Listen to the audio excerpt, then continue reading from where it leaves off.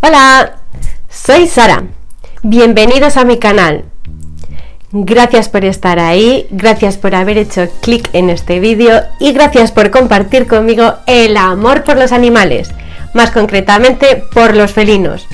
Hoy quiero hablar de razas de gatos, pelín extrañas, exóticas o simplemente diferentes.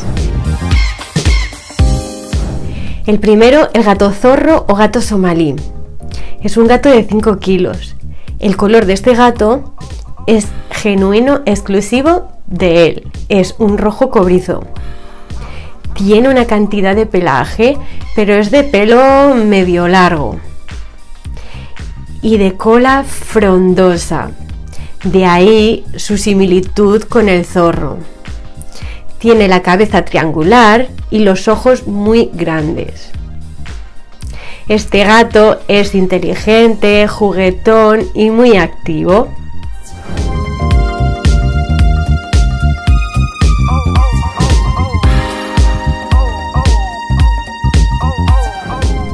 El siguiente, el gato lobo. Este gato es producido por una mezcla natural. De una camada de gatos salió de repente un gato que le faltaba pelo en diferentes partes del cuerpo. Esto le hacía aspecto de lobo. Le faltaba pelo en la cara, en el hocico, en las patitas, en diferentes partes. De color entre gris o negro. La nariz negra, ojos grandes y orejas grandes. De personalidad tímida, pero cuando le das confianza se convierte en un gato muy juguetón y muy tierno.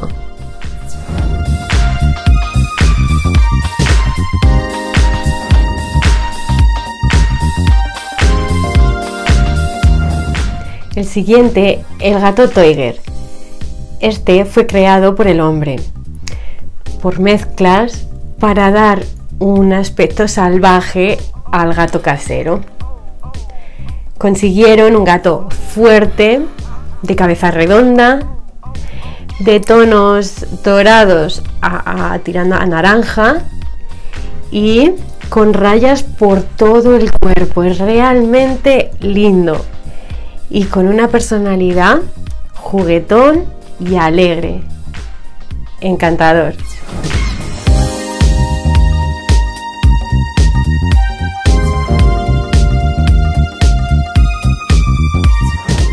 El siguiente, gato bengala o gato leopardo. Este gato es característico por las manchitas redondas. Es entre dorado y marrón. Tiene eh, el pelaje muy sedoso, grandes patas, orejitas redondas y pequeñas. Y una peculiaridad es que tiene una arandela alrededor del cuello en negro. Del pelaje, claro.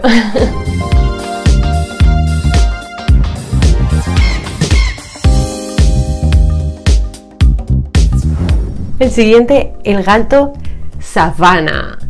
Este gato tiene aspecto salvaje porque viene de la familia de uno de los gatos salvajes de África.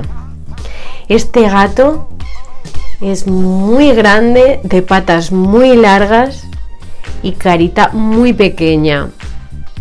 Orejas grandes, juntas y como redondeadas. Este gato también tiene manchas atigradas y es muy juguetón, muy leal y adora el agua.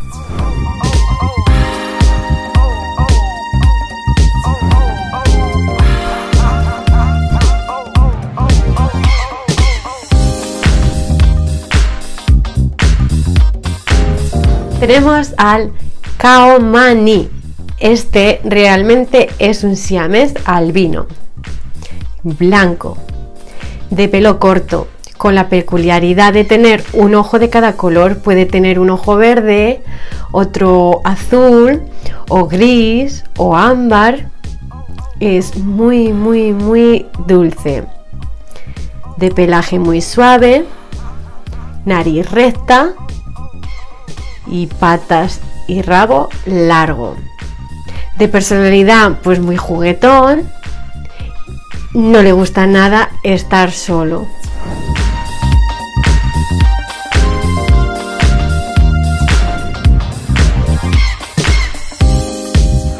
Y ahora tenemos al gato exótico. Bonito nombre, ¿verdad?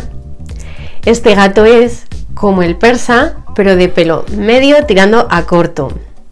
Y las características iguales que las del persa, logrado por muchos cruces. Es de patitas cortas, cabeza redonda, orejas redondas y pequeñas y de carácter similar también tranquilo y cariñoso.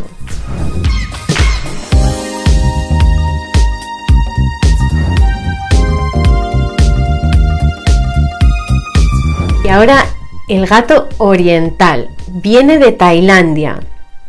Le llaman el galgo de los gatos. Este tiene el pelo corto,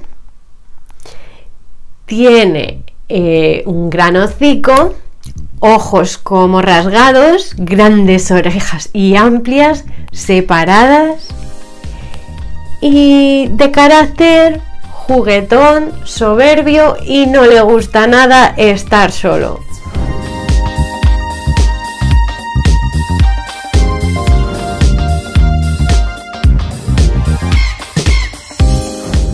Y si me lo permitís, vamos a hablar un poquito del bosque de Noruega. Es un gato que no puedo profundizar mucho porque ya hemos hablado de él. Es Maine Coon. Me encanta porque realmente es muy, muy llamativo y diferente a todos por su gran tamaño y por su hocico tan característico, tan de gatazo. Y que también soporte esas temperaturas y el agua helada. ¿Es o no es especial?